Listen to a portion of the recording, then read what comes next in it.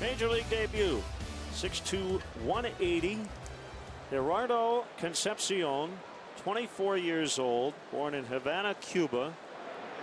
Swing and a miss, so his Major League debut is a good one as he strikes out Brandon Moss. Line it caught by Russell. Called strike three.